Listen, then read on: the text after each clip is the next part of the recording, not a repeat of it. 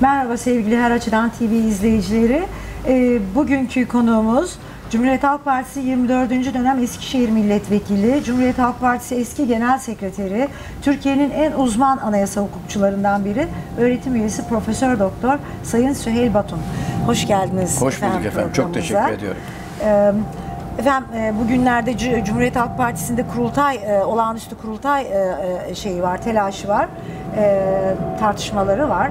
Ve siz aynı zamanda e, 24 Haziran'da Cumhuriyet Halk Partisi'nin Cumhur- Cumhurbaşkanı adayı olan ve bugünlerde de CHP Genel Başkanlığı'na aday olan Sayın Muharrem İnce'ye yakın bir isimsiniz. Aynı listede yer aldınız. Sizin ihracınız döneminde yanınızda durdu. E, yakınsınız birbirinize. Şimdi İnce seçim sonrası işaretini verdi ve e, CHP'de olağanüstü kurultay tartışmalarını başlattı. Kurultay için 625 delegenin imzası gerekiyor. CHP Genel Başkan Yardımcısı Muharrem Erkek Cuma günü toplanabilecek maksimum imzanın 450-470 civarında olacağını söyledi. Ama dedi ki 604 imza bile e, yeter. Eğer bunu toplarlarsa Kılıçdaroğlu olağanüstü kurultaya gidecek dedi. Şimdi bir karışıklık var ortada. İzmir Milletvekili Mehmet Ali Çelebi 600 imzanın toplandığını, bunun 634'e çıkacağını söylüyor. Bu imzalar için 30 Temmuz'a kadar mı zaman var? Yoksa hemen bugün mü toplanıp genel merkeze teslim edilmesi gerekiyor? Şimdi ilk önce şunu söyleyeyim. Ee, ben e, aynen söylediğiniz gibi siyaseti artık bıraktım. Şöyle bıraktım.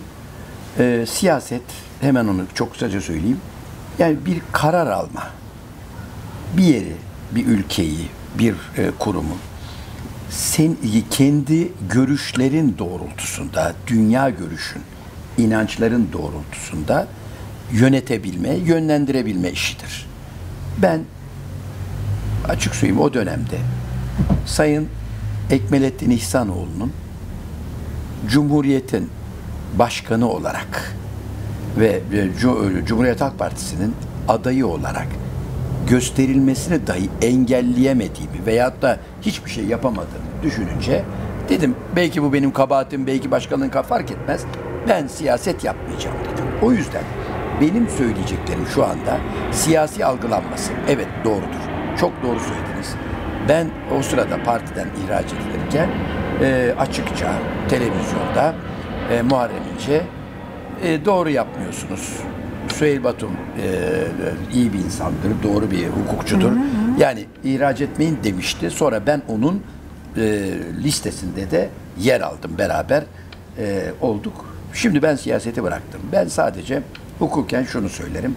Şimdi 15 gün içerisinde verildikten sonra e, önergenin 15 gün içinde salt çoğunluğun salt çoğunluğun imza vermesi lazım bu e, seçimli olağanüstü kurultay için. Dolayısıyla bu toplanacak. Bunun sayısı da işte zannedersem 625.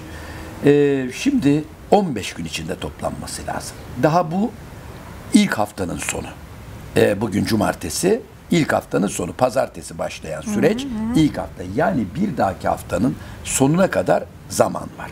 Hayır Genel Başkan Yardımcısı dedi ki 604 imzayı yarın teslim Ha. ederlerse dedi. Şimdi- hemen dedi kurultay kararı alacağız. Şimdi onu şu manada, bakın açık söylüyorum. Ee, bana göre bu çok çok, ben partinin iç işlerine karışmak istemem. Artık ben siyaset yapmıyorum. Ama Belki çok Muharrem İnce şey genel başkan olursa yeniden yaparsınız Ee, yani e, bilmiyorum ama Evet. yapmam herhalde. Ama şunu söyleyeyim. Çünkü başka bir şey. Ben daha öne yani daha önemli demeyeyim yanlış olmasın ama e, daha çok sayıda kişiyi e, içereceğini düşündüğüm bir kuruluşun e, başkanlığına aday oldum şimdi. Çok da yakın. O yüzden yapmam diye düşünüyorum ama şunu söyleyeyim. Bakın e, 604 imza diye siyaseti biz özellikle Cumhuriyet Halk Partisi veya işte kızıyorsak bugünkü iktidara ilkeler üzerinden ve kurallar üzerinden yapmalıyız. Şu manada söylüyorum. Bakın. Re- e, Sayın Cumhurbaşkanı 2001'lerde aday olduğu zaman o günkü yasalar onun aday olmasına izin vermiyordu. Fakat inanılmaz bir baskı kuruldu ve Sayın şeyde dedi Efendim ki. sözünüzü bir saniye için keseceğim. Sevgili izleyiciler bugün dışarıda yayın yapıyoruz. Hava güzel. İçeride olmayalım dedik. Ve uçak geçiyor zaman zaman. Uçak sesi giriyor yayına.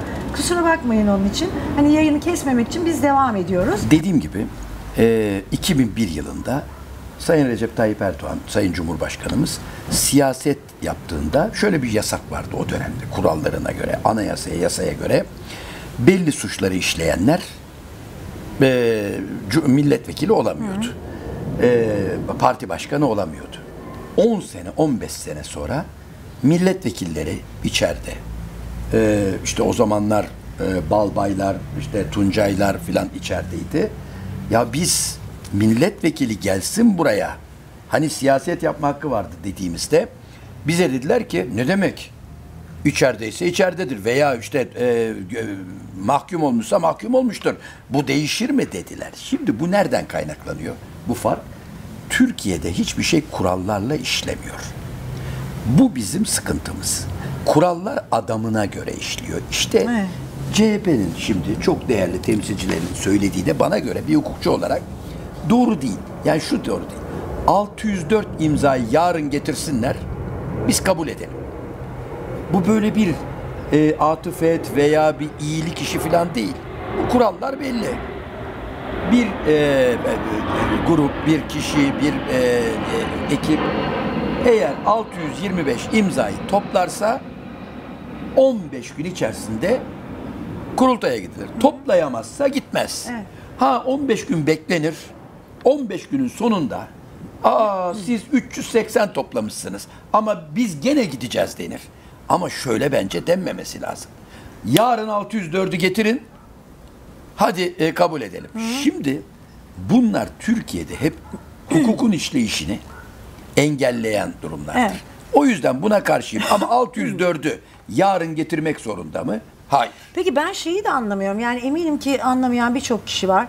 Ee, mesela e, Muharrem Erkek e, Genel Başkan Yardımcısı çıkıyor diyor ki 450-470 civarında şu anda imzalar diyor. Mehmet Ali Çelebi çıkıyor diyor ki 600 imza toplandı. Bu 634'e çıkar yarın diyor. Kim doğru söylüyor? Biz kime Bilmiyorum. inanalım? Bu siyasette bu çok vardır. Ya bu siyasette mecburen olur bu böyle. Biri der ki şöyle gücüm var, öbürü der ki gücüm yok, böyle der ki şu kadar E siz topladım. inanıyor musunuz toplanacağına? E, şöyle söyleyeyim, e, vallahi bilmiyorum. Yani e, gerçekten bilmiyorum. Şimdi diyeceksiniz ki kaçak mı dövüşüyorsun? Hayır. Ben açık açık şunu görmüş bir insanım. Parti de önemli değil. A partisi, B partisi, C partisi. Sonunda bütün partilerde bu var. Sonunda e, yani AKP Davutoğlu diye birini Ahmet Davutoğlu'nu bayılarak ölerek bütün grubun alkışlarıyla başbakan yaptı. Seçimlere girdi. Yüzde 40 oy aldı. Ertesi günü o alkışlarla karşılayıp havalara fırlayanlar Allah kahretsin seni. Ee, şey dediler siyaset böyle bir şeydir. Sadece onda değil ben AKP'ye sadece söylüyorum diye demesinler. Ben gördüm. Karşıydım da. Açık olalım. Net bunu e, Allah'ın bildiğini kuldan neden saklayalım? Mesela Sayın Bekaroğlu'nun ben Cumhuriyet Halk Partisi'nde la zamanında genel başkan yardımcısı olmasını istemeyenlerden biriydim. Herkesin bir ideolojisi vardır. Gider o ideolojide istediği partide olur. Aynı ideolojide değiliz diye düşünüyordum. Ama seçimlere girdi ve şimdi adını vermek istemediğim ama çok sevilen, hakikaten herkesin çok sevdiği ve Türkiye'de CHP, SHP, DSP grubunun hakikaten gurur duyduğu bir kişiyle beraber meclise, parti meclisine üye oldular. Sayın Bekaroğlu o gruptan 500 küsur oy aldı. O çok sevilen, herkesin bayıldığı, bugün şimdi gelse elini öpmek için uğraştığı kişi 230 oy aldı. Dolayısıyla siyasette ben 400 mü toplar, 800 mü toplar, Belli 7 bin mi olmaz toplar diyorsunuz. Evet. bilmem.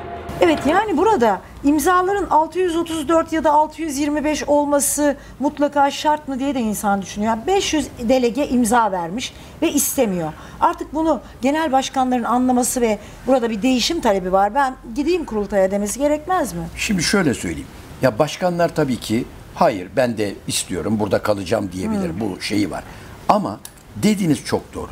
Bir kural getirilmiş. Deniyor ki yarıdan devamlı böyle kurultaylara gidilemesin diye 625'te yani yarının bir fazlası denmiş. Bu doğal. Ama ben de aynı kanaatteyim. Yani o yüzden size söyledim.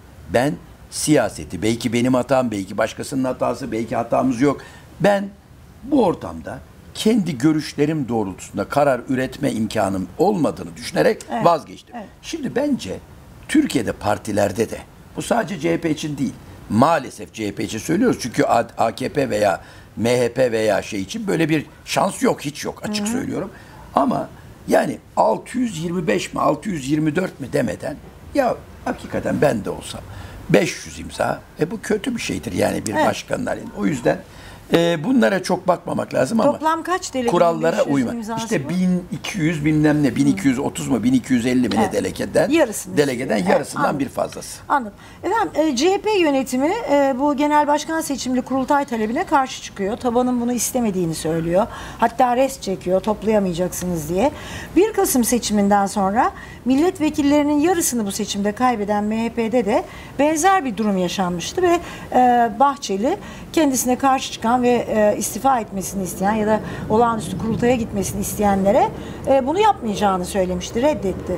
Şimdi bu durumda partiler böyle yaptığına göre nasıl değişim olabilecek bu partilerde? Hep sonsuza kadar aynı genel başkan oturacak mı? Şimdi açık söyleyeyim ondan daha kötüsü de oldu. Esas oraya bakmamız lazım. Şimdi dünyanın her ülkesinde başkanlar veya sendika liderleri veya dernek başkanları ben burada oturacağım, gitmeyeceğim. Ömür boyu oturacağım kardeşim size ne diyebilir? Bir kesimde o değişsin diyebilir. Şimdi dolayısıyla bunları şöyle görmek lazım. MHP'de olduğunda benim uzaktan bir hukukçu olarak gördüğüm ne 500'ü 800 mü ne imza toplandı da kurultay toplandı ve kurultayı bir icra dairesi mi ne durdurdu. Bir partinin toplanmasını, kurultayını bir e, icra e, müdürlüğü mü mahkemesi durdurdu. Evet. Ya bu inanılır değil. Yerel bir mahkemeydi galiba. Yereli bırakın Evet. diyorum tekrar icra ile e, işte icra işlerine bakan bir şey durdurdu.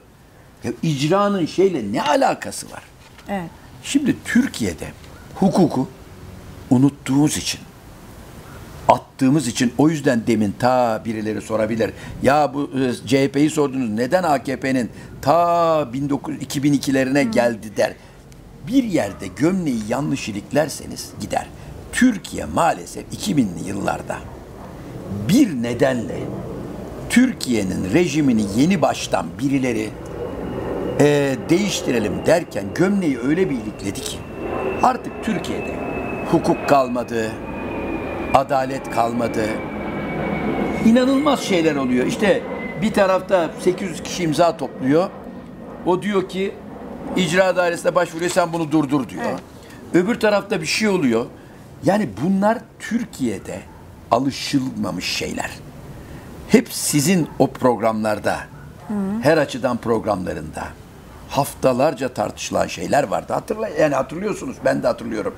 Ya insanlar göz göre göre 4 sene, 5 sene tutuklu hatırlayın. Evet. Biz diyorduk ki ya 5 sene tutuklu kalır mı insan kardeşim diyorduk. İnsaf diyorduk. O günlerde Sonra birdenbire onu FETÖ yapmış oldu. Aynen ve, oldu. e, maalesef Ee, evet, FETÖ yaptı, gitti. o bitti gitti. Evet. FETÖ kim? FETÖ, FETÖ. Kim bu ya? Öcü öcü yaptı. Ya o sırada Yani bakan FETÖ'nün adamları tabii ki vardı. Vardı vardı da elbette. bakan FETÖ müydü? Burada duruyor. E, öbür bilmem ne müsteşar FETÖ müydü? Burada duruyor. Yani biz gömleği yanlış ilikledik. Bu yanlış iliklendiğinde o yüzden söylüyorum ben şu anda CHP'nin yöneticilerinin de çok değerli yöneticilerinin e tamam yarına kadar 604'ü getirin bakarız.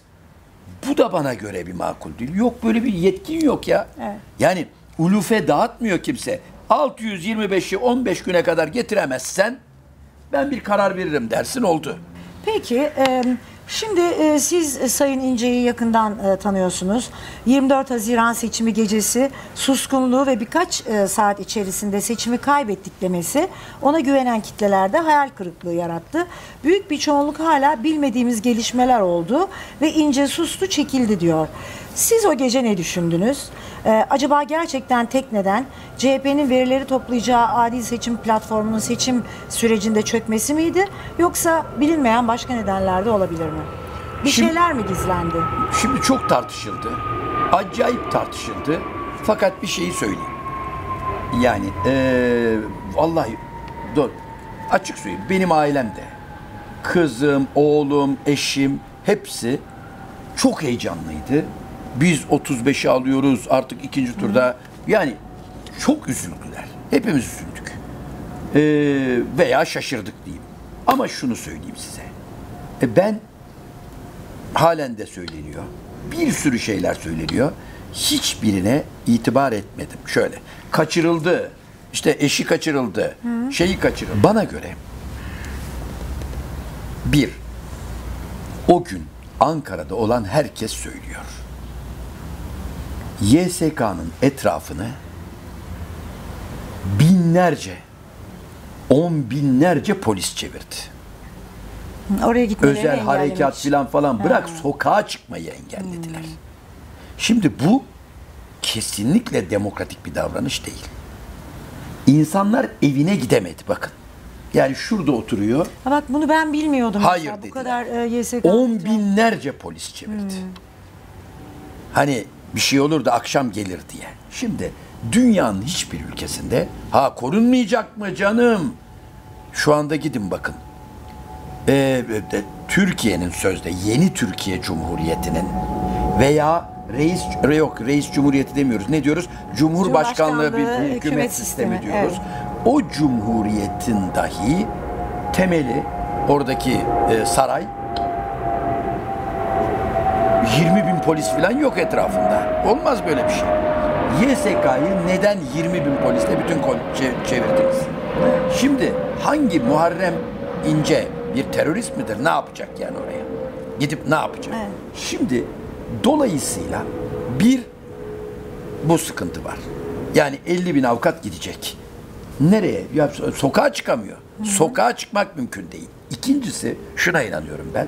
Sonra Mehmet Ali Çelebi'nin hakikaten bence tahminim Muharrem Bey sormuştur. Saat 10'da filan. Hepimiz bekliyorduk. Adil seçim bilmem ne platformu var. Veriler gelecek oradan. Oradan da Anadolu Ajansı'ndan da gelecek. Biz karşılaştıracağız. YSK'dan da gelecek ve YSK diyorum. İl seçim kurullarından da, ilçe seçim kurullarından da gelecek ve doğruları yanlışları bulacağız. İşte Ama hiç kendileri kimse bir şey söylüyor. karşılaştıramadı. Patladı. Veri gelmedi. Peki bundan önceki seçimlerde adil seçim platformu mu vardı ki verilerini Şimdi karşılaştırabiliyorlardı? karşılaştırmadılar zaten. Hiç. Tabii ben Kabul ettiler, Ben oturdular. 2011'de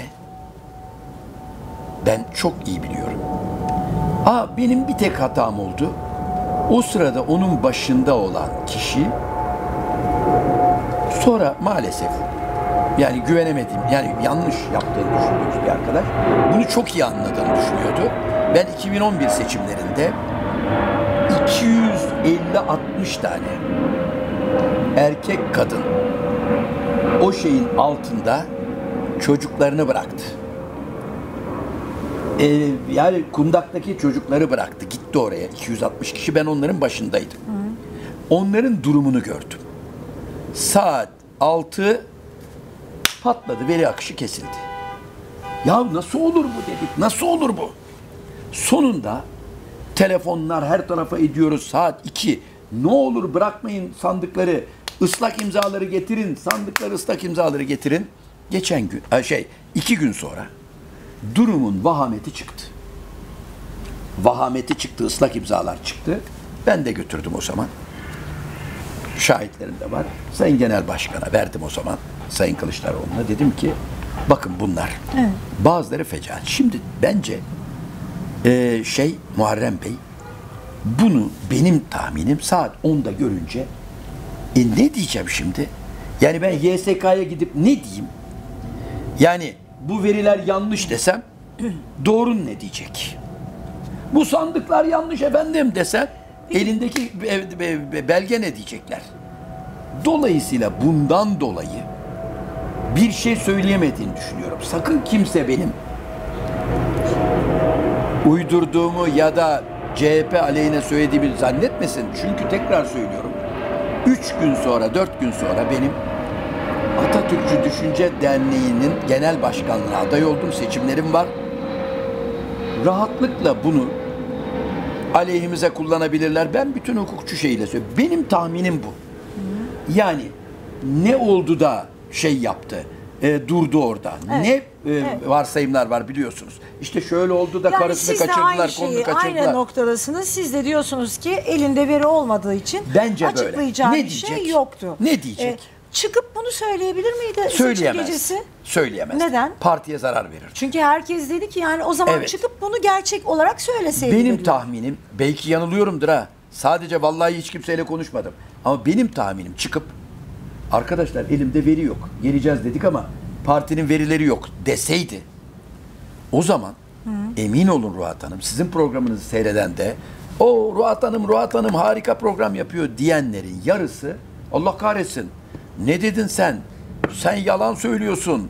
Yani uyduruyorsun. bunu, e, partiyi İnci'ye, kötülüyorsun. Muharrem İnce'ye söyleyeceklerdi. Ha, evet, ona söyleyeceklerdi. Siz de şimdi böyle bir şeyde elinde veri yoktu ki o yüzden söyleyecek bir şey yoktu dese Muharrem aynı şeyi söylerlerdi. Bir anda neden açık ettin? Evet açık ama, ama, etmedin ama derlerdi. diyorsunuz ki partiye zarar verirdi. Verirdi. Peki partiye zaten e, e, adil seçim platformunun çalışmamış olması yeteri kadar zarar vermedi mi? O öyle de bunlar e, şey değildir.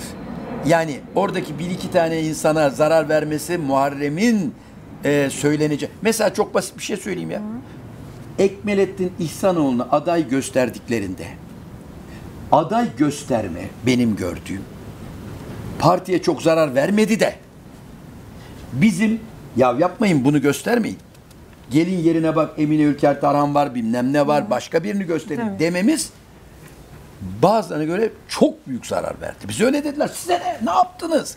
Ya ne yaptık? Atatürk Cumhuriyeti'nin başına doğru düz bir insan gelsin. Yani Ekmelettin'den başka kimse yok mu? Ha bir de yani tabii kimsenin tanımadığı bir isimdi. Yani o da zarar Canım verdi o ayrı Türkiye'ye. mesela. O da bir Yani, şeydi falan. evet. Ben bana sormuşlardı. Bakın e, o yüzden söylüyorum.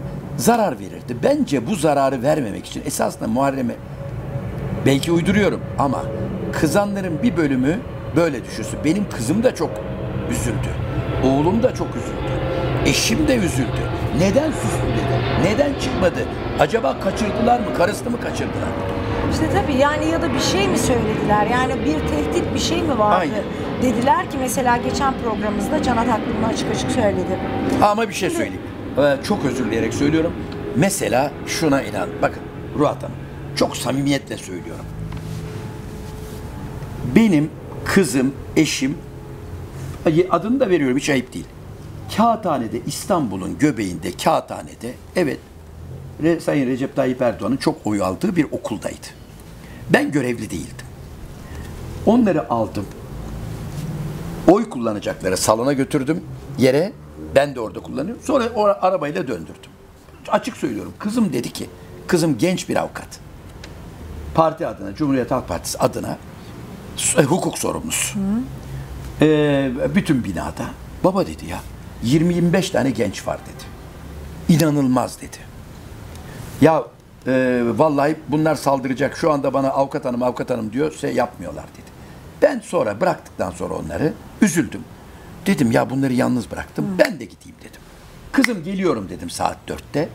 Kızım aman dedi iyi sana bir müşahit kartı dedi. Bir girdim. Müşahittim hakikaten. Girdim devam etmeye başladım. Ruhat Hanım diyorlar ki koca dört katlı mı beş katlı mı ne okul. Hocam 1179'da olay var. Bakın yaşadığımız. Kızım veya işte şey gidiyor geliyor gidiyor geliyoruz. Aynı 20-25 tane genç. Bakın net söylüyorum. Şurada turuncu kalemler. Bunu yani özellikle söylüyorum. Bakıyorum içeri giriyorum biz 79'a. Sandık kurulundan birine ne oluyor kardeşim buralarda olay mı var filan diye etrafında 20 kişi. Arkadaşlar ne yapıyorsunuz siz ya? Ne baskı altına alıyorsunuz? Ne demek abi o da çıksın o zaman dışarı aynen bu ifadelerle. Ya arkadaşlar sen kimsin oğlum? Ne demek abi? Hatta birine dedim ki oğlum sen adam mı dövmeye geldin? Seni attıracağım içeri mühür vurmuş. Biz zaten içeriden çıktık abi. Şimdi tekrar söylüyorum. İstanbul'un göbeğinde, kağıthanede bu baskı varsa ben Her yer Türkiye'de başka yerlerde bu baskının olmadığına inanmıyorum. Evet. Ha şimdi buna Bekir Bozdağlar falan şey olsun diye çok açık söyleyeyim. Efendim diyorlar Yani bu katılım kişiler çok. ne yapıyorlardı? Ne Baskı. amaçları neydi? Baskı. Baskı. Baskı yapıp oradaki insanları e, oyların belirlenmesinde işte faraza ailece gelmişler onun oy kullanmasının engellenmesinde veya hiç hani gözü kör olacak, eli olmayacak, o zaman biri girecek yanında. Hayır öyle bir şey yok. E, ne bileyim ben e, İki kişi şey var diye iki beraber gir filan dediklerinde yapma diyenleri baskı altına almak Anladım. için. Anladım. Şimdi Evet. bu baskı seçimleri ben hile oldu falan diye şey yapmıyorum ama Türkiye'de bu baskı vardı. Bunu özellikle buradan vurgulamak istiyorum. Çünkü ben Türkiye Cumhuriyeti'nde yaşadığına inanan insanlardanım hala. Türkiye Cumhuriyeti'nde yani bir reis cumhuriyetinde kimilerin söylediği gibi evelallah yeni şimdi iki, beşinci cumhuriyeti kurduk, üçüncü cumhuriyeti kurduk. Buna inanmayan Evet. insanlardanım. Buna inan. O yüzden bu seçimlerin hem propaganda hem uygulama açısından daha doğru yapılmasına layık bir ülke olduğumuzu düşünüyorum. O yüzden Bekir Bozdağlar'ın söylediği bakın yüzde 90 katılım var ne kadar demokratiz dediğinin de bir demokrasi ölçütü olmadığını bilen ve Evet. bundan yetinilmesini uygun görmelerin e, kabul eden insanlardan olmadığımı söylemek için söyledim. Evet. Ee, CHP milletvekili Enis Berberoğlu yani bu e, CHP dokunulmazlıkların e, kaldırılmasını istiyor. Enis Berberoğlu ise uzun süredir tutuklu. Yeniden milletvekili seçildi 24 Haziran'da ama hala tutuklu ve Yargıtay onun hakkındaki e, davanın dokunulmazlık nedeniyle durdurulması isteğini de reddetti. Şimdi bunun üzerine e, Berberoğlu bu pazartesiden itibaren, önümüzdeki pazartesiden itibaren ailemle, avukatlarımla ve milletvekilleriyle açık kapalı görüşe çıkmama kararı aldığını söyledi bugün. Ve tabii ki görüşmediklerimi çok özleyeceğim fakat her ağaç tek başına ve ayakta ölür dedi. Şimdi e, yani bu da bir tür açlık grevi gibi bir şey.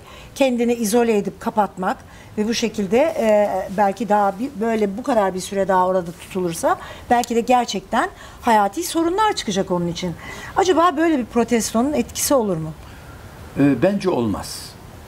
E, ben böyle söylüyorum ama şimdi yani e, bence olmaz yapmasın manasında söylemiyorum. Bakın şimdi kim unutmak isterse istesin. Ben 2011 yılında milletvekili oldum bu ülkede.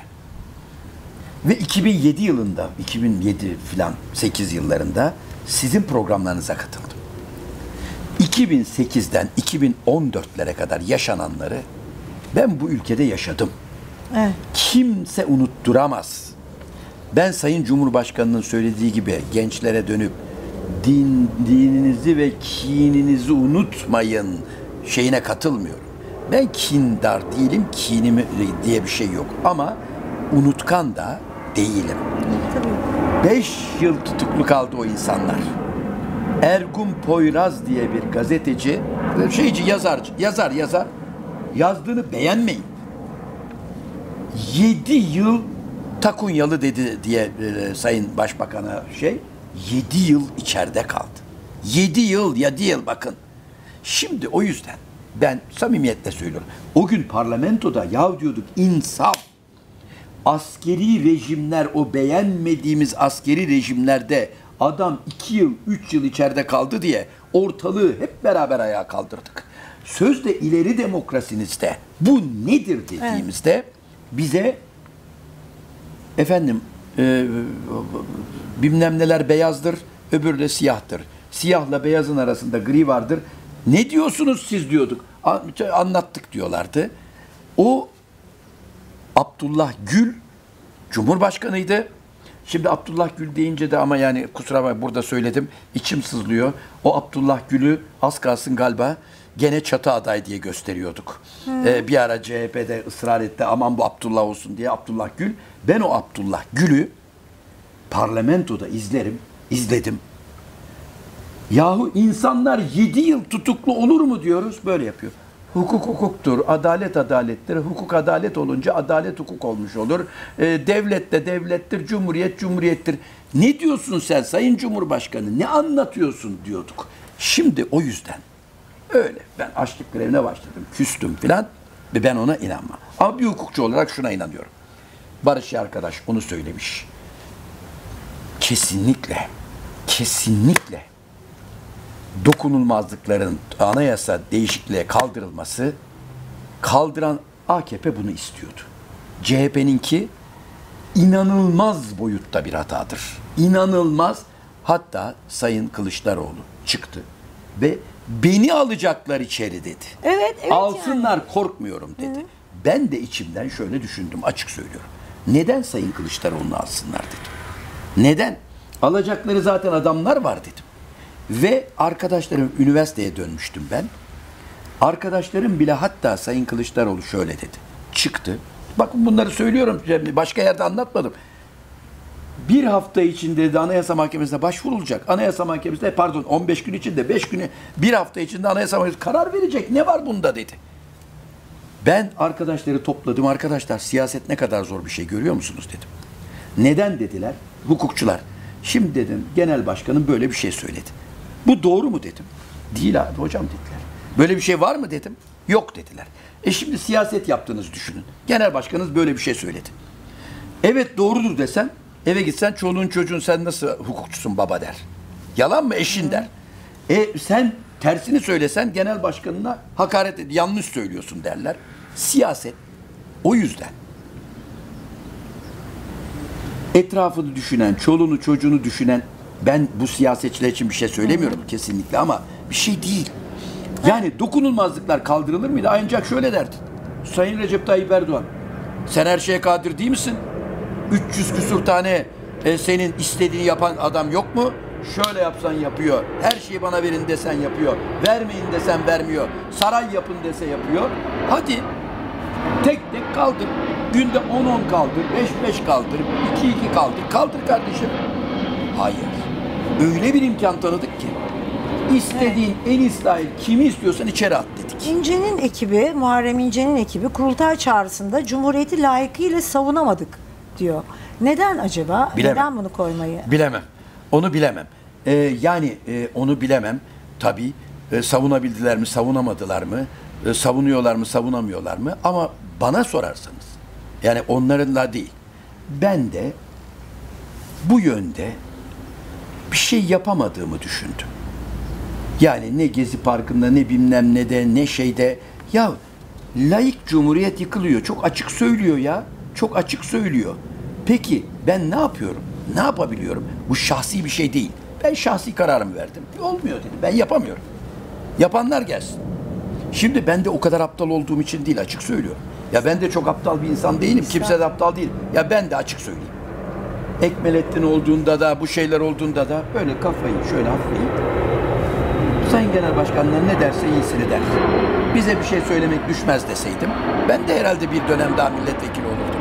Genel Başkan ben arkadaşlarım için bir şey söylemiyorum bakın. Ya dedim yok. Yani ben gideceğim. Ruhat Hanım'la oturacağım konuşacağım. Arkadaşlarımla konuşacağım. Ya e, bana soracaklar. Bu ülkede çıktı dedi ki biz ümmetiz dedi. Ümme, geçen gün Şevki Yılmaz'ı tanırsınız. Şevki Yılmaz öyle kimsenin bilmediği filan bir adam değil. 98'lerdeki, 97'lerdeki şeyini biliyorsunuz. Ee, Mek şeyde Kabe'de toplayıp insanları haçta bu Kemalist Cumhuriyeti yıkacağız. Bu Kemalist Cumhuriyetin yerine bilmem ne kuracağız diye bağıran bir adam olduğunu biliyorsunuz. Aynı zamanda bu Şevki Yılmaz'ın, Sayın Cumhurbaşkanımızın çok yakını olduğunu da biliyorsunuz. Beraber e, püsküllüğü ziyarete gittiklerini de biliyorsunuz. Her şeyi biliyoruz. Bu Şevki Yılmaz geçen gün bir yazı yazdı. Yani tek başına yazmayacağını söylemek için söylüyorum. Dedi ki bizim için Zafer Bayramı artık 15 Temmuz'dur dedi. Bakın Evet. dikkat edin açık söyledi. Bunu söyleyen Şevki Yılmaz. Meclis başkanı çıktı ne dedi? Abdülhamit'ten sonra dedi öldük bittik duraklama dönemine girdik. 2012, 2002'de çıktık dedi. Şimdi ben düşünüyorum. Yani çok açık söylüyor daha ne söylesin? Peki şahsi olarak söylüyorum. 2011-15 ben ne yaptım? Çok şey yapmaya çalıştım. Şimdi bundan hemen birileri görüp derler ki ha işte gördün mü bak sen bir şey yapmadın oysa ben koştum filan. Bunlar palavra. Ben elimden geleni yapmaya çalıştım. Ama esasında ne yaptım? 15 Temmuz'u getirip 20 e, 29 Ekimlerde Cumhurbaşkanı Abdullah Gül veya Başbakan Sayın Recep Tayyip Erdoğan her 29 Ekim'de kulağımız ağrıdı. Evet. Bugün e, hanımın günü var. Bugün bilmem nenin şusu var deyip 29 Ekim'e gitmediklerinde ne yaptık? Efendim gideceğiz ama elini sıkmayacağız. Efendim çok küseceğiz, arkamızı döneceğiz. Bana göre e, eğer Muharrem Bey'in tarafları biz iyi yapamadık diyorsa demek ki benim gibi düşünüyorlar demektir. Açık söyleyeyim. Evet. Ama onlar benden daha şey. Ben artık bu siyasal sistem içinde ya neden sevdiğim insanlarla bile neden genel başkana ters düştün düşmedin filan falan diyeyim. Neden sayın genel başkanlar efendim bu dokunulmazlıkları benim için kaldırıyorlar. Enis merak etme dediğinde Evet. yok canım Enis seni kaldıracaklar dediğimde neden kötü olayım? O zaman ben dedim ki şimdi Türkiye'de yüzde elliyiz biz. Birilerinin söylediği gibi elitistler, azıcıklar, azınlıklar, mutlu azınlık falan değiliz. Yüzde elliyiz. Bu yüzde ellinin seslerini dile getirebilecek bir kuruluşun Atatürk Düşünce Derneği'nin başkanlığı adaylığımı koyayım dedim. Ve çıktım. Peki e, e, e, Sayın e, Batum, e, bu e, milletvekili olduktan sonra e, zannediyorum HDP milletvekili de e, şey yapmıştı, serbest bırakılmıştı. Daha önce örnekleri var e, tutukluyken Evet. serbest bırakılmasının. Ama şu anda reddediyorlar Enis. Berberoğlu'nu. Yani bu nasıl bir, e, Hayır, yani şöyle. burada bir e, da, örnek alma Hayır daha yok. önceki... Biz de öyle zannettik. Şimdi e, e, 2007 seçimlerindeydi herhalde. E, İstanbul milletvekili olmuştu bir HDP'li. E, şimdi unuttum kimdi. E, seçilince milletvekili e, o zaman Yargıtay yani yargı daha tam 2010 e, Osman Canlar'ın yargısı Evet. değildi daha ve dedi ki e, milletvekilisin kaçacak halin yok. Şey verene kadar Yargıtay kararını verene kadar çık dışarı dedi. Çıkarttı, girdi. Fakat böyle bir yükümlülük yok. Fakat ondan sonra e, Tuncaylar, Balbaylar, e, Alanlar hepsi milletvekili oldu. Hayır dedi. Hayır. Milletvekili olsanız da siz şu anda yargılanıyorsunuz. Kaçma tehlikeniz var. Siz azılı teröristlersiniz dedi. Tam tamına işte kaç yıl 2011'den 15'e kadar mı 14'e kadar mı ne? Hayır dedi. Sizi salmayacağım dedi. 3 yıl, yıl mı ne? Dolayısıyla böyle bir hukuki yükümlülük yok ama normal olarak olması gereken o. Milletvekili olduğunda daha davası görülüyorsa veya şeyse ya daha yargıtaysa kesinleşmediyse çıkar dışarı. Kaçma tehlikesi yoktur. Milletvekilini yapar çıkar. Ama ben bunu yaşadım.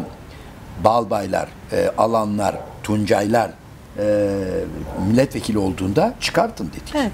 Hayır dedi. Söyledikleriniz arasında ben şeye takıldım. Ee, Bundan sonra e, Cum- e, e, Zafer Bayramımız 15 Temmuz Evet. konusuna. Yani tabii ki orada halkın sokaklara dökülüp işte darbe girişimini engellemesi tabii güzel bir olay. Hani memnun olduk hepimiz. Fakat e, bu dışarıdan bir düşmana karşı kurtarılmış bir e, yani bir savaş sonucu bir kurtarma bir zafer değil. Devletin içinde virüs gibi sızdığı söylenen bir e, terör örgütü, din, dinci bir terör örgütünden e, e, çıkmış olay. Yani asker e, askerin içine sızıyor, polisin içine sızıyor, diyanete sızıyor, eğitime sızıyor. Yani bu kadar süre büyük bir hata yapılmış ki biz anlayamadık hatalıyız dediler. Affetsin millet bizi dediler. Bu kadar büyük bir hata yapılmış, kurumlara sızmış ve ondan sonra da sonuç buraya gelmiş. Şimdi halk durdurmuş bunu ne kadar güzel. E, Daha önce örneği görülmemiş bir şekilde ama bunun e, normal bir sa- savaş sonucu e, kazanılmış bir zaferle karşılaştırılması herhalde Zaten makul değil de. Garip bir durum. Zaten makul değil de ama açık söyleyeyim. Bu yeni cumhuriyetimizde bana göre hiçbir şey makul değil. Çok net söylüyorum. Evet. Neden makul değil?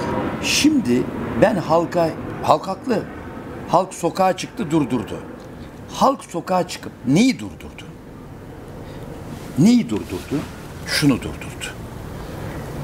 Ruhat Hanım, böyle bir şey duydunuz mu hiç? Siz de dünyayı biliyorsunuz, okuyorsunuz şeylere. Terör örgütü vardır. Amerika'da, İngiltere'de, Fransa'da, Almanya'da, Rusya'da, Çin'de her yerde terör örgütü olur. Nedir terör örgütü Ruhat Hanım? 10 kişi, 100 kişi, 200 kişi, 500 kişi ee, bir hedefleri vardır. İki yer patlatırlar, bomba atarlar, bilmem ne atarlar. Sonunda üçünü öldürürsün, beşini yakalarsın. Doğru mu? Terör budur. Siz 150 bin devlet memuru olan terör örgütü duydunuz mu? 150 bin devlet memuru.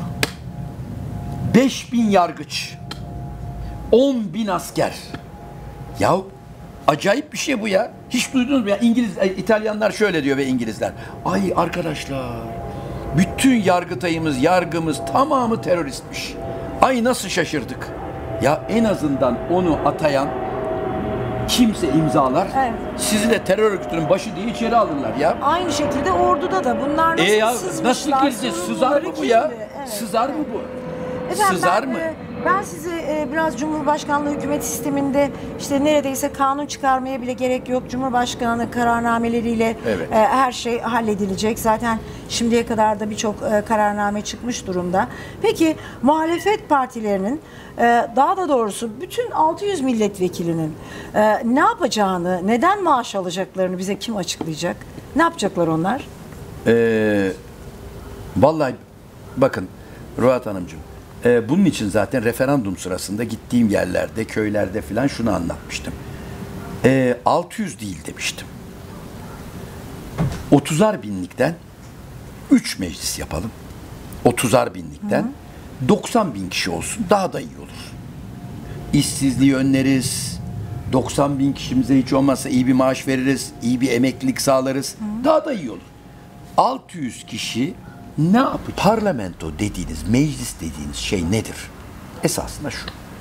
1295 yılında 1295 İngiltere'de bir model parlamento kurulmuş ve halkın temsilcileri yer almış. Sonra mücadele, mücadele, mücadele 1649'da parlamentonun e, askerleriyle kralın askerleri kavga etmiş ve parlamentonun askerleri yenmiş ve kralın birinci Charles'ın kafasını kesmişler ve İngiltere'de parlamenter rejim dediğimiz o parlamentonun üstünlüğü başlamış ve parlamento hemen bir şey ele geçirmiş. Neden? Çünkü halkın temsilcileri. E, ben demiş, vergileri ben salacağım bütçeyi ben yapacağım demiş. Şimdi ta o dönemden bugüne parlamentonun bir işlevi var. Bu ülkedeki yapılacak her alanda yasaları yapar. Bütçesini yapar. Hükümeti denetler. Kral bile olsa denetler. Bu işlevi var. Şimdi gelelim bizim hükümet neydi? Cumhurbaşkanlığı hükümet sistemimize. Bunda açık söyleyeyim. Parlamento ne yapabiliyor? Bütçe eğer olmazsa Cumhurbaşkanı istemezse partisine de yapmayın derse yapamıyor. Cumhurbaşkanı yapıyor. Kanun Peki yapamıyor daha ne yapar? çünkü Cumhurbaşkanı e, e, Aynen. kararnameleri, Kararnameleri yapıyor. her şey yapılıyor. E peki denetim e yok artık güve- e, göreve başlarken hükümete güven oyu yok. Görev sırasında soru güven yok. soru yok. Gen soru yok. E, sözlü soru yok. E meclis soruşturması var ya. Ne meclis soruşturması var? Şu- Çoğunluk, e, çoğunluk. E tabi Evet. 400 tane milletvekili lazım. 400 tane. Şimdi di- dikkat edin bugün Cumhurbaşkanı, gene iyi Cumhurbaşkanımız sağ olsun. Çıkıp inanılmaz bir şey yapsa. Arkadaşlar canım sıkıldı. Yapmaz ya. Biraz Yunanistan'la savaş edelim dese. Hadi edelim ya. Hadi. 10 bin kişi şehit oldu. Lafın gelin söylüyorum. Ne diyeceğiz? Yapacağımız şu var. Efendim bu dönem bitsin. 5 yıl geçsin. Bir dahaki 5 yılda seçmeyiz onu büyük ceza. Evet. Ya böyle bir şey olur mu? Şu anda ya- hiçbir Bugün denetim, hiçbir durduracak hiçbir mekanizma denetimi, yok. hiçbir şey Onu yok. söylüyoruz. Bakanlara da yok. Dolayısıyla Evet. bu meclis ne yapar? Dolayısıyla o yüzden söyledim. Zaten 600 kişi yapmışsınız gerekli ses. O zaman biz bugünden sonra şunu söylemeliyiz. 600 yerine 30 milletvekili olsun. Aynen, 30. Yani hiç değilse 30 milletvekiline ben e, Mahsus'dan önersin. çok çarpıcı 60 olsun diye olsun. ben çarpıcı Evet. olsun diye 90 bin dediniz. e, demiştim Evet. ki 600 kişi herhalde e, biraz e, emekli kalsın falan diye siz bunu 550'den 600'e çıkarttınız. Bari daha iyisini söyleyeyim 90 bin kişi yapın 30 bin kişi 50 bin kişi yapın daha iyi daha çok kişi emekli Evet. olur daha çok Paramız kişi da para bol alır. zaten. Yani Aynen. e, harca harca bitmiyor. Aynen. Efendim o hale gelmek istiyorum. 15 Temmuz FETÖ darbe girişiminden sonra 20 Temmuz 2016'da ilan edilen o olağanüstü hal geçen çarşamba kaldırıldı. Ama o arada o hal e, yerine geçecek bir yasa teklifi verildi. E, Birçok kişi de neden seçim öncesi kaldırılmadı da şimdi kaldırıldı sorusunu soruyor. Onu siz nasıl değerlendirdiniz zamanlamasını? Bir de bugün valilere sokağa çıkma yasağı ve silah Evet. izin veren bir yasa teklifi Evet. kabul edildi. Evet. Şimdi bunun mahsurları ne olabilir? Valiler için na- nasıl bir e, mahsuru olabilir? Bir de o hali neden seçim öncesi kaldırmadılar? Mesela CHP'li Alpay Antmen bu valilere verilen yetki için 15 Temmuz'da bu yetki olsaydı ve FETÖ'cü bir vali halkı halkın sokağa çıkmasını engelleseydi ne olurdu diye sormuş. Acaba böyle bir yasa teklifine neden gerek duyuldu? Şimdi şunu söyleyeyim efendim. O hal niye seçim öncesi? Ee, şimdi o hal bana göre çok net söyleyeyim. Bu sistemin sorgusuz sualsiz işletilebilmesinin en önemli dayanaklarından biri o haldir. Siz çok daha iyi biliyorsunuz. Yani çok önemli bir gazetecilik yaptınız, televizyonculuk yaptınız. Şu anda televizyonların başına geçtiğinde prensip olarak hangisi olursa olsun açtığınızda ne görüyorsunuz? Bakanımız dün el sıktı. Allah'ın bakanımızın el sıkmasındaki güzellik kimsede yok maşallah. Ya da bakanımızın koltukları açık fuşya rengi Allah'ım ne kadar zerafet. Uydurma uydurma haberler. Neden? Ya o arada 28 kişi mi öldü? Bu e, millete bir şey yapan müteahhidin hatasından 20 küsur kişi öldü. Evet. Yayın yasağı var. Bir şey söyleyemezsiniz. Bu e, şimdi söylediğimizde buraya giriyorum bilmiyorum. E, yayın yasağı var. E ne yapsın televizyonlar? Haydi eğlenelim. Bakan bak çok güzel e, çayda çıra oynuyormuş. Peki o hal olmasaydı ha gene olurdu. Ama hiç olmazsa sizin gibi birkaç tane böyle veya başka namuslu, onurlu, dürüst gazeteci çıkıp C bile dese ya bu ne? Bu nasıl diye sorardı. Doğru mu? O hal bunların sorulmamasına yarıyordu bir. O yüzden seçimden önce kalkması Yani o- mümkün değil. O hal o hal olmasaydı da zaten e, medya artık e, Ha o işte söylüyorum. Aradan kaçardı diyorum. Aradan kaçabilirdi diyorum. Şimdi açık Hepimiz söyleyeyim. durup dururken işlerimizi kaybettik e, Ee, gerçekleri söylediğimiz için. Bakın söyleyeyim. Seversiniz, sevmezsiniz, beğenir, beğenmez. Meral Akşener'in belki 10 tane toplantısı yasaklandı. Abi parti başkanı yasaklayacak şey ama miting yapacak yasaklanıyor. Milletvekilleri bir şey yapılacak, vali yasaklıyor. Şimdi bunlar nasıl yapıldı? O halde yapıldı. Fakat Avrupa'da çok net. Neden seçim öncesi kalktı? Tabii. Evet. Ee, ya seçim öncesinde kaldıramazlardı çünkü seçimde de en büyük işlerine yarayacak şey buydu. Dediğim gibi siz o hal olmasa Meral Akşener gitti. Bir yerde toplantıya vali gelemezsiniz efendim diyebilir mi? Efendim vali e, yasakladım mitingi Yani diyebilir mi? nedeniyle yapıyorum diyor. Öyle şimdi. diyor da e, işte o halde olduğu için. Şimdi neden kaldırdı onu da söyleyeyim. Neden kaldırdı? E çok açık sorun isterseniz bir gün alın buraya eski e, Mehmet Şimşek mi vardı? Mehmet Şimşek para almak için İngiltere'ye gittiğinde bir şey söylemişlerdir. Öyle diyorlar. Bir şey söylemişler. Ne bu o hal ya? Efendim o hal çok önemli. Hadi geç onu demişler ya. Ne o hal ya? Ne o? Efendim çok güzel bizde o hali herkes seviyor, bayılıyor demiş. Hadi oradan ya demiş. O halle seçime mi gidilir demiş. Şimdi beş kuruş para alamazlardı. Alır mıyız acaba diye o hali kaldırdılar. Fakat o hali gene kaldırmadılar. Nasıl ekonomi açısından kaldırdılar? Tabii tabii tabii tabii. tabii. Evet. Para gelsin, bir şey olsun, krediler alınsın, Diyorsunuz. bilmem ne diye. Fakat o hali gene üzüldüğüm bir şey. İşte yasa tasarısını verdiler. Bakın ne güzel söylediniz. Maddeleri kabul edildi. Şimdi o halin en önemli iktidara şu anda ya- yara, yarayan şey ne? Şu. Bir, inanılmaz hakim kararı olmadan valilere geniş yetkiler veriyordu o hal. Gelme, yapma, girme, çıkma, toplantı olmaz. Peki o hal kalktı. Aa bu da kalktı bu yetkide. Hayır. Bu yasayla onu getiriyorlar gene. Kabul ettikleri. Yani o hal bu- kalkmamış gibi devam edecek Aynen. aynen. Ama, Valiye ama diyor bu ki sokağa çıkma yasağı ne- neden buraya konmuş mesela ve silah e, nakline izin İşte, veren. işte. Yani istenmeyen bir e, toplantı olursa. Aynen bu kadar Bu basit. mudur? Aynen bu Gösteri kadar basit. olursa. Ne diyor biliyor musunuz? Tehlike yaratacağı düşünülen ve tehlikeli olacağı terör eylemleriyle ilişkisi olduğundan şüphelenilen. Ya halkın protesto hakkı tamamen Ya e, olur mu böyle şüphelenilen? alınmış. Kim şüpheleniyor abi? Kim şüpheleniyor? E ben şüphelendim. Kimsiniz? Ben sayın valiyim.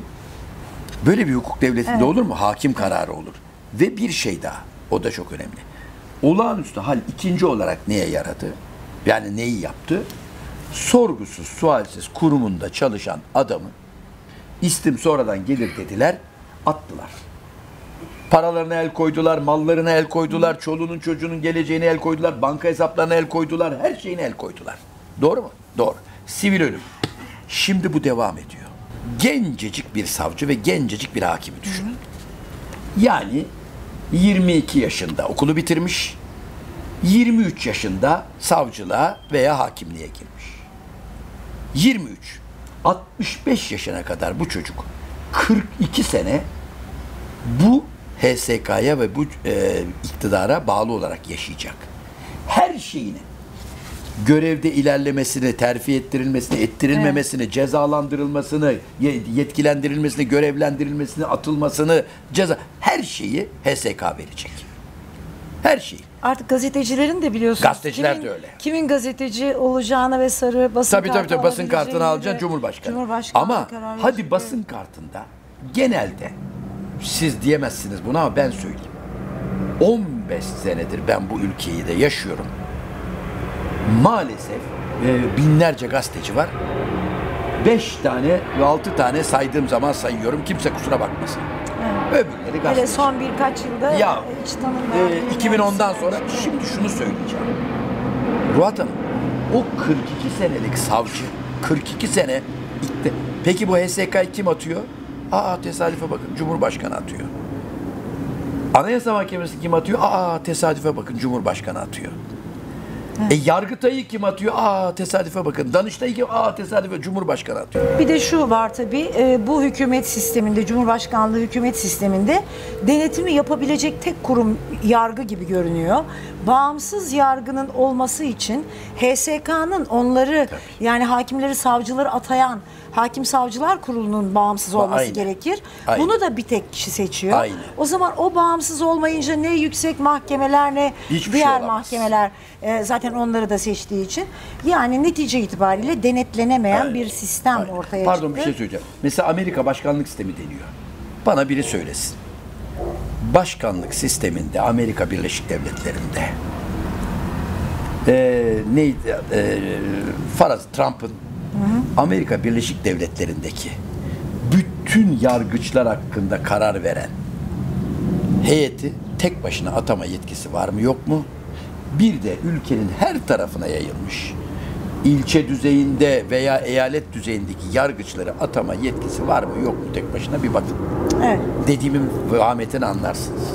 Efendim e, Atatürk'e hakaretler konusu e, önemli çünkü hakikaten sosyal medyada artık kıyamet kopuyor. Eğer sosyal medya sesini başka türlü duyurabilseydi, yani televizyonlara çıkabilseydi orada tepki gösteren insanlar çok büyük bir tepki olduğu daha çok görülecekti. Münferit olaylar gibi e, görünen dışarıdan baktığınızda fakat giderek sistematik bir hale gelen dönüşen Atatürk'e e, bir yıpratma, bir e, onun e, manevi şahsiyetine e, hakaretler, bu tür eylemler ortaya çıktı. Şimdi e, son olarak Anıtkabir'de çarşaflı bir kadının çok çirkin sözlerini içeren bir videoyu gördük. E, hatta e, Atatürk'ün anayasadan çıkarılmasından söz edildiğini duyuyoruz televizyonlarda falan. E, şimdi acaba e, mesela Atatürk'ü yeterince savunabiliyor mu ana muhalefet partisi? Bu bir. İkincisi Atatürk'e bu hakaretleri yapanlar cezasız kalıyorlar. Bunun yani e, cezası nedir? Savcılıklar bu tür hareketleri Türkiye'nin kurucusuna yapılan bu hakaretleri kamu davası olarak almak zorunda değiller mi? Ee, hiç tartışması yok. Almak zorundalar. Almaları gerekli. Ama demin bir şey söyledim. Dedim ki savcıyı düşünün. 40 yılı iki dudağın arasında dedim. Ruhat Hanımcığım bu bir tesadüf değil. Yani şimdi düşünebiliyor musunuz? Orta Doğu Teknik Üniversitesi'ni bitiren gençler pankart taşıyorlar. Bir tanesinin pankartı bir pankartı hakaret olduğu iddia ediliyor. Ayrı mesele. Hakaret midir değil midir onu da söylerim. Avrupa İnsan Hakları Mahkemesi. Hani Avrupa standartları Sizin falan diyoruz ya. var o konuda evet, değil mi efendim? Evet, Evet. Avrupa Mahkemesi diyor ki EON kararında o zaman Cumhurbaşkanı Sarkozy'ye defol git işte şöyle hakaret eden adama verilen cezayı reddediyor Avrupa İnsan Hakları Mahkemesi. Hayır diyor. Ee, Cumhurbaşkanı da sana geri zekalı demiş onlara. Böyle düşünenler geri zekalıdır. Bu da ona karşı tepkisini gösteriyor. Cumhurbaşkanı nasıl tepki gösterirse o da gösterir diyor. Geri zekalı. Defol git. Şimdi varsayın ama burası Türkiye. Bir pankart taşıyormuş. İşte milletvekillerine de açtı Evet. Cumhurbaşkanı. Tamam peki. Ay kabul etmiyorum ama. Yahu bir pankart taşınıyor. Diyor ki e, şeyli telefon mu diyor, görüntülü telefon mu işte televizyon. Şerefsizim onu da ben bulmuştum diyor. Yani Sayın Cumhurbaşkanı'nın böyle. İşte buraya biz yaptık. Burayı da biz kurduk. Cumhuriyetle biz kurmuştuk. İşte e, buzdolabını da ben getirdim. Çamaşır makinesini ben buldum. Demesine bir karşılık olarak diyor ki görüntülü. O kızı da tutukluyorlar. Neden biliyor musunuz? Efendim öbür pankartın taşınmasına yardımcı olmuş. Dolayısıyla o terör örgütünün suçunu o da işlemiş. Şimdi o kız tutuklu, hakim tutukluyor. Ya adam açık açık bir meczup. Kemalistleri öldüreceğiz. Ya onlar yaşayacak ya biz yaşayacağız diyoruz diyor. Bir tane bir adamın biri artık yerin altı mıdır yerin üstü müdür bilmem ama diyor ki hapishanelere gireceğiz. Bayrak direklerinde sallandıracağız diyor. Hakim diyor ki e, çocuk üzülmüş. İfade özgürlüğü diyor yani. Üzülmüş. acı- canı acımış. Aman ifade özgürlüğü diyor. Öbür tarafta hakim. Bu pankartı evet bunda bir şey yok ama bu kızı ben bilmez miyim diyor. Bu pankartı taşırken o da yardımcı olmuş. Ucundan tutmuş diyor. Ya arkadaş şey. Evet. Yani Dolayısıyla bu tesadüf evet, değil. Gerçekten e, Ruhat nasıl Hanım, nasıl bir güvence bu- olacak bu yargı tesadüf o- değil. olmayan bir ülkede? Bu tesadüf değil. Evet. Ee, bakın hiç kimseye hakaret etmek için söylemiyorum. Açık söylüyorum. Ya alıştığımız siz zannettiler. izlediniz mi Anıtkabir'deki şeyi? e, o, Kızı seyrettim. e, siyah çarşaflı. Zaten Türkiye benzemiyor, Suriyeli'ye benziyor daha çok. Ve söyledikleri de yani hakikaten derhal alıp e, e, yargılamayı gerektirecek şeyler. Bir de a- neden Anıtkabir'e gidiyorsun? Yani Anıtkabir bizim için özel bir mekan. Bizim kurucumuzun, atamızın mekanı. Neden oraya gidip bunları Tabii, söylüyorsun? İki katı Tabii, suç tabii. olması lazım. Ama bir şey söyleyeyim. Aynı zamanda toplum kesimlerini kim ve düşmanla Aynen tahrik canım etme hiç suçu. Tartışması yok. O zaten öyle. Şimdi biri çıkıp 15 Temmuz'a bir laf ettiğinde tutukluyorlar. Peki ya yılbaşı gecesi o e, Reyna mıydı neydi? Bastılar 150 kişi mi ne öldü? Evet. 150 tane insan öldü. Siz o tweetleri okuduğu bazı tweetleri izlediniz mi? Allah'ın gavuru. Doğru. Evet. Ne arıyorsun orada? Gavur. e, Noel Baba'yı gördün işte sana şöyle geldi diye. Ne oldu o insanlara? Ya ne oldu kardeşim? Yani bir şey yakalandı, e, mahkum Evet. oldu. E, ama Bu Atatürk tepkisi giderek e, toplumda büyüyecek. Aa, büyüyecek. Hakikaten bunu bunu ciddiye almaları gerekiyor. Büyüyecek. Ben de o Tabii yüzden- şiddet zaten başlı başına Ee, e, çok arttı. Bence de büyüyecek. Türkiye'de hala tekrar söylüyorum biz yüzde elliyiz. Ya yüzde ellinin de üstündeyiz de yüzde elliyi şuradan çıkartıyorum. Çok net Türkiye'de referans 16 Nisan'da hatta yüzde 52 belki filan da yüzde 50 diyorum 7 ben. Haziran Üzülmesinler diye diyor fazla. ki Türkiye'de kardeş ben oy veririm ona veririm buna veririm e, Recep Tayyip Bey'e veririm başkasına veririm ama cumhuriyetimi benim ortadan kaldırıp da yerine ne reis cumhuriyeti ne cumhurbaşkanlığı hükümeti getirme net bu böyle bir metafizik bir şey değil net dolayısıyla bunlar insanlarda ya bir şey yapalım. Atatürk Cumhuriyeti ortadan kalkmasını çok daha fazla getiriyor. Ben Muharrem İnce'nin mitinglerindeki o coşkuyu da buna bağlıyorum. İnsanların kendilerini başka türlü ifade etme imkanları elinden alındı. Cumhuriyeti koruyorlar aynı zamanda. Aynen Onu Cumhuriyeti Cumhuriyeti koruyor. koruyacak temsilci Muharrem İnce'nin o gün evet. gidenler de Cumhuriyeti koruyor. Bu çünkü herkes farkında. Aptal gibi e, davranması isteniyor insanların ama ya her 29 Ekim'de 10 yıldır Cumhurbaşkanı ve Başbakanın kulağı ağrır mı? Veya canı sıkılır mı? E veyahut da yani e, 23 Nisan'a kutlu doğum haftası 10 yıl kutlanır mı? Evet. O yüzden biz yüzde elliyiz. Belki de yüzde altmışız. Ee, Ben çok teşekkür ederim. Bu Cumhurbaşkanlığı hükümet Eşit sistemi de geçici değildir. eşit şartlarda seçim yapıldığında belki bütün o propaganda süreci Bravo. eşit olduğunda, bütün devlet imkanları tek parti için kullanılmadığında ve bu o hal şartlarında yapılmadığında belki normal şartlar altında ve tabii seçim sonuçlarının da 3-5 saatte çıkması mümkün değil Türkiye gibi bir ülkede. Onların da nasıl toplanıp geldiği işte veriler yokken falan. Neyse inşallah normal şartlarda normal seçimler olur. İnşallah ülkemiz için güzel şeyler olur diyelim. Sayın Batum efendim çok teşekkür ediyoruz. Siz bizim televizyondaki programlarımızda da hep izlenme rekorları kıran e, programlar yaptınız. E, çok güzel açıklamalar yaptınız. Türkiye'nin sayılı anayasa hukukçularından birisiniz. Katıldığınız için e, Her Açıdan TV'ye çok teşekkür ediyoruz. Sevgili izleyiciler bizi izlediğiniz için size de çok teşekkür ediyoruz. Kanalımıza lütfen abone olun ve bizi izlemeye devam edin.